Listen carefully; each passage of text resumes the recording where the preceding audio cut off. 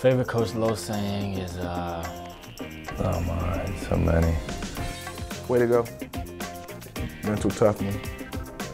My favorite Coach Lowe saying. Ah, we should, ah, the one. I think it kind of sums everything up. If, if one fails, we all fail. I need to remember this one. Hold on. It was a good one.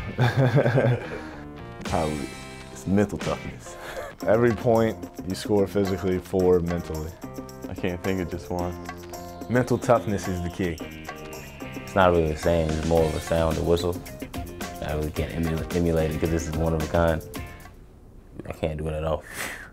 It's so loud, it sounds like a real whistle, I can't do it.